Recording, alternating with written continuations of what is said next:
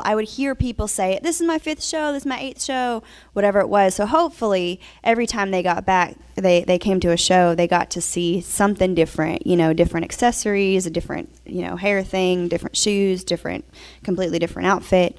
Um, so that was important for me too, just to have people be able to come back and notice different things.